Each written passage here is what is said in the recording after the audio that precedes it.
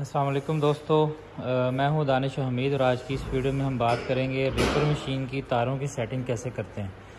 तो to the point बात करते हैं ये देखें जी ये सबसे आखिर यानी एक जो खामोश होता है ना इसके ऊपर कोई फूल नहीं लगा होता ठीक है? उससे अगले फूल की तारों की सेटिंग हम शुरू करते हैं। ये देखें ये दो तारें एक ऊपर है कि नीचे नीचे वाली साइड पर नज़र आ रही है आपको ठीक है? इसको हमने क्या करना होता है ये जो है ना बॉडी रैपर की, इसके, इसका फासला जो है ना, बिल्कुल बिल्कुल इसको साथ लगी होनी चाहिए तार, ये देखें, यहाँ पे, बिल्कुल ऐसे। ये भी बिल्कुल साथ लगी होनी चाहिए, वो नीचे वाली बिल्कुल साथ लगी होनी चाहिए, जैसे वो नीचे वाली लगी हुई है, वो देखें, ठीक है?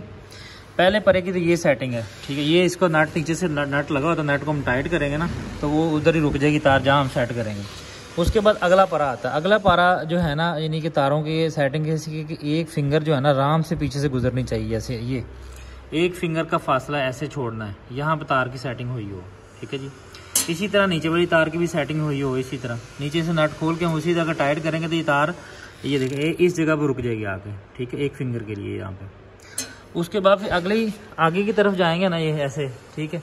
तो इसके आगे यानी डेढ़ फिंगर यानी कह रहे कि फासला होना चाहिए पीछे से। ये इस टाइम बिल्कुल सही खड़ी है।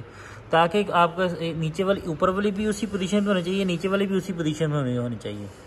और ये जो चैन है, ये इसकी गुरी और नीचे वाले वो उस चैन की गुरी आपस में ये भी सीधी होनी चाहिए, ठीक है? तो ये और लास्ट जो है ना, ये देखें लास्ट जो है ये बिल्कुल इस फासले से दो टू फिंगर ऊपर होना चाहिए ताकि ये माल जो यहाँ से बाहर आ रहा है वो एक तरतीब से बाहर निकले।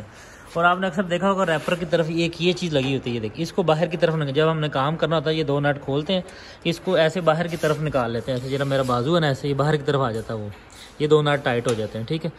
तो मकसद बताने का ये कि इस परे ने जो कटिंग करनी है, वो अगले को देनी है, अगले ने उससे अगले को देनी है, उससे अगले ने बाहर निकाल देनी है, ठीक है? तो जब तक ये तारों की सेटिंग नहीं होती तो रैपर जो है, वो सही काम नहीं करता। तो इसलिए तारों की सेटिंग जब आप करेंगे तो फिर ही आपका रैपर जो है, वो सही काम करेगा। जिन दोस्तों को रैपर चाहिए, वो दिए गए नंबर जो ये वीडियो में शो हो जाए, इस पर रबता कायम करके पूरे पाकिस्तान के लिए मशीन को रैपर को मंगवा सकते हैं। वीडियो देखने का शुक्रिया, अगर फिर भी कोई बात ना समझ लगी हो तो आप तो कॉल पर समझ सकते हैं या कॉल कर सकते हैं। शुक्रिया।